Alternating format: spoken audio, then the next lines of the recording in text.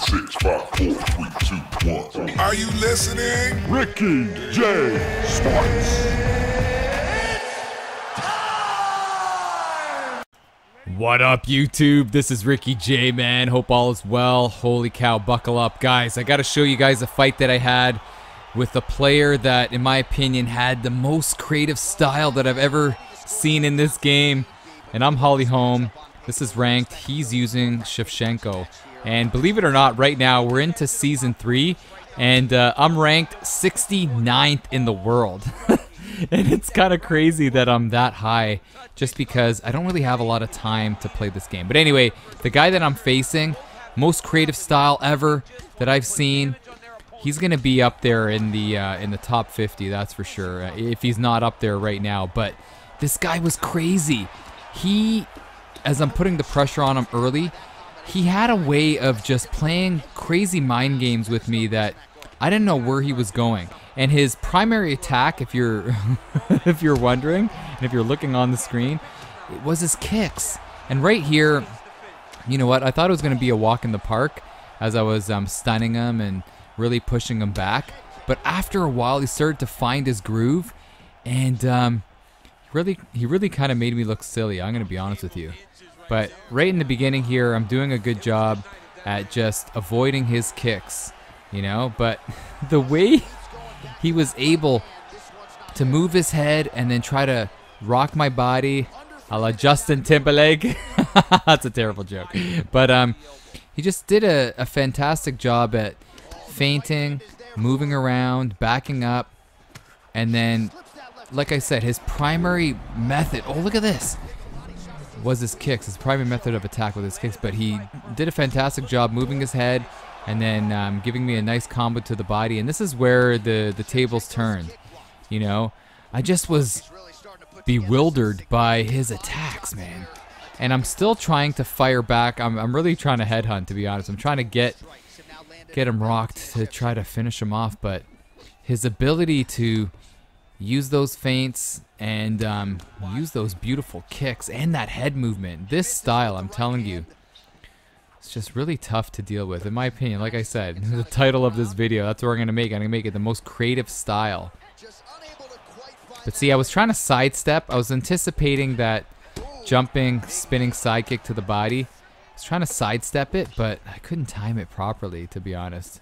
And look at how the pace of the fight has totally slowed down. It was almost like that was part of his game plan, you know, to let me blow the wad and um, and then battle right back. And look at this. Rocks me right here. I don't know where he's going. I thought he was going to go down low. Goes up high. Pieces me up with a shot. Then he's going down low. Then he goes up high.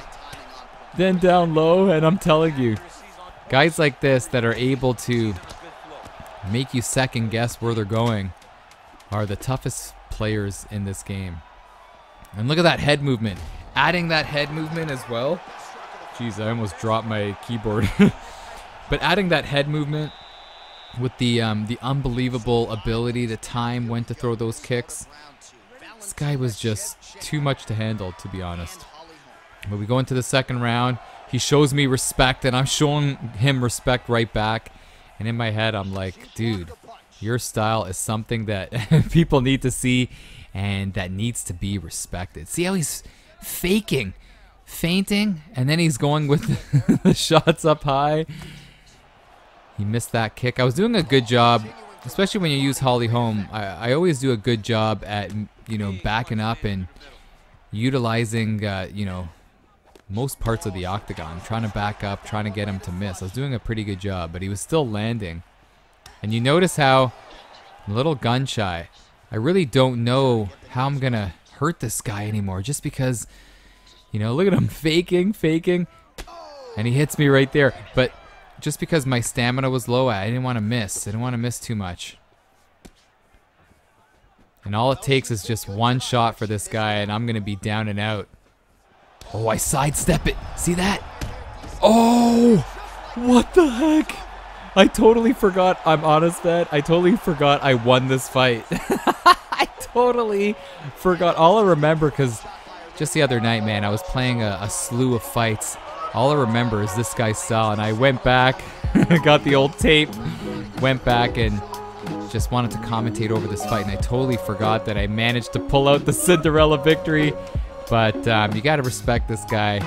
My opinion, the most creative style. Holy smokes. But just so you guys know, yeah, man, I'm ranked 69th right now.